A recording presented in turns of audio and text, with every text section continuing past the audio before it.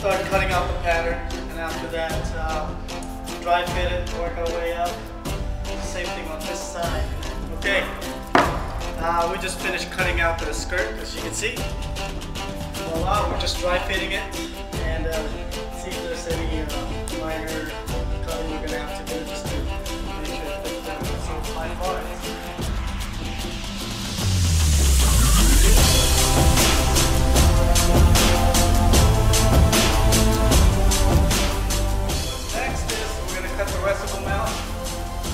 them, and the paint them off white, uh, same color the. Um, today we we've got the skirt painted for the stairs, and um, we are putting it in right Apply now. glue to the back of the skirt, working all these down from the top and pressing them firmly against the wall. The next step is we're, we're also going to uh, nail them to the wall. Definitely will uh, secure them better to the wall. Um, Yep. After this, let it set and cure for, I don't know, maybe half a day or so. And then the next step, we're going to install the, um, what do you call The trim, the yeah, cap. Yeah, the cap. Alright, uh, since it's going to be painted, uh, we went for a paint grade plywood, is an MDF. Uh, otherwise, if we we're going to stain it, we would have either wall which is the same as before, but, uh, so grade, we decided to go with MDF.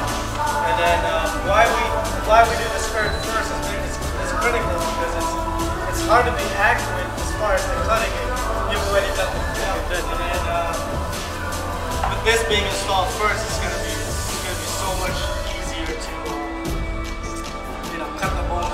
just at the right angles. It's, it's gonna be flushed right up against the skirt, and leaving us with uh, you know anywhere from zero to 16 of an inch gap, which is very common.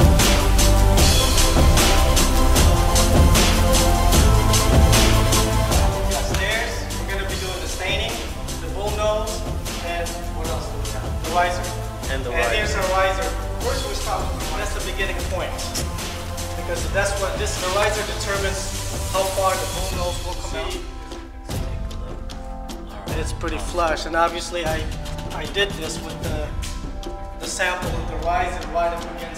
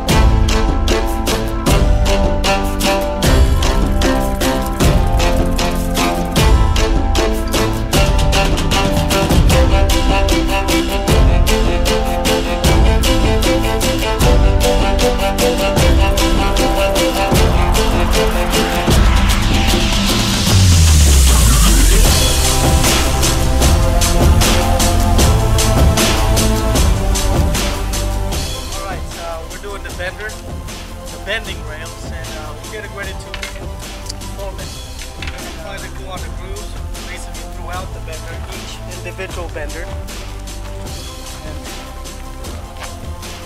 just any wood glue. I like to get them in the groove.